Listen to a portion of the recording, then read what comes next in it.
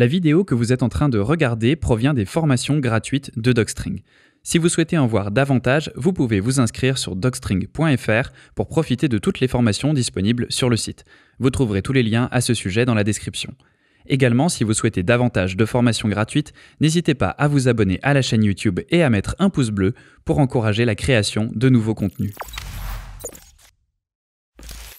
Une chaîne de caractères, c'est ce qu'on appelle communément du texte. Elle peut contenir autant de caractères que nécessaire, on pourrait donc sans problème stocker par exemple un livre entier dans une chaîne de caractères. Il est également possible de créer des chaînes de caractères vides sans que cela ne pose de problème à Python. Une chaîne de caractères, elle est délimitée par des guillemets. Ces guillemets peuvent être simples ou doubles. Le guillemet simple, c'est l'équivalent de ce qu'on appelle en français une apostrophe. Cette chaîne de caractères qui commence et se termine par des guillemets doubles est donc également valide.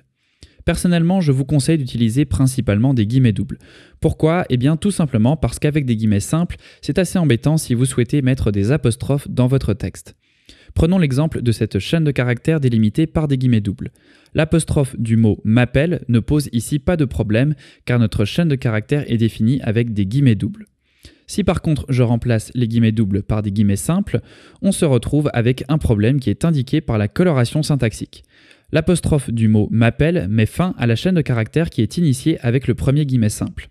Si vous essayez de faire ceci dans un interpréteur Python, vous aurez donc une erreur de syntaxe. Une des solutions à ce problème, c'est d'utiliser un anti-slash.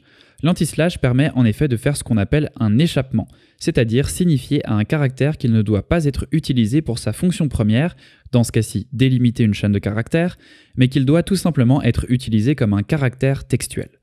Si vous essayez ce code dans un interpréteur Python, vous n'aurez cette fois plus d'erreur et vous voyez que l'anti-slash ne se retrouve pas dans la chaîne de caractères affichée.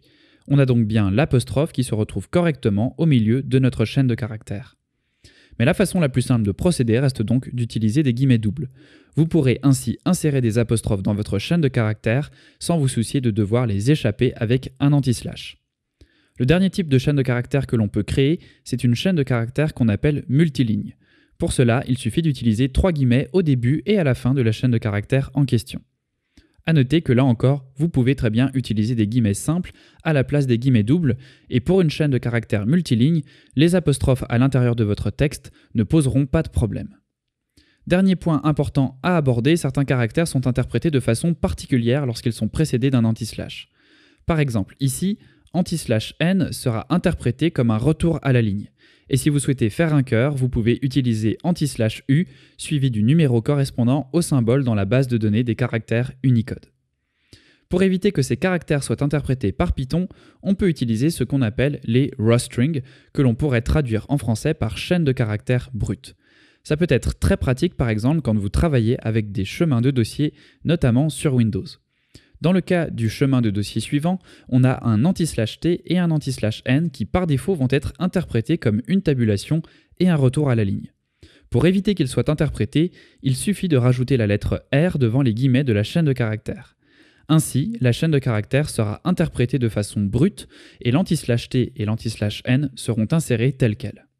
Pour finir, voici donc une liste non exhaustive des caractères qui sont interprétés de façon spéciale par Python lorsqu'ils sont précédés d'un anti-slash. Il faudra donc porter attention aux chaînes de caractères qui peuvent contenir ces suites de caractères et le cas échéant envisager donc d'utiliser une chaîne de caractères brute en la précédant de la lettre R. J'espère que cette vidéo t'a plu, si c'est le cas n'hésite pas à mettre un pouce bleu et à t'abonner à la chaîne, et si tu as la moindre question tu peux bien entendu la poser en commentaire.